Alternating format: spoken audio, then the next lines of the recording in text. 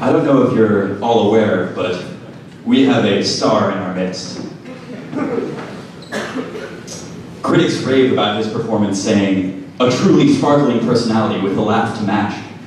And, step aside, Jennifer Lawrence, America has a new sweetheart. This award goes to Lian Tao Wang for his supporting Feature film Particle Fever, with nearly tens of dollars sales worldwide.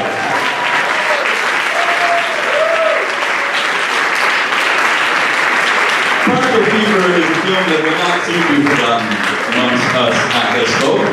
And uh, ladies and gentlemen, put your hands together for our shining star, Professor Wang.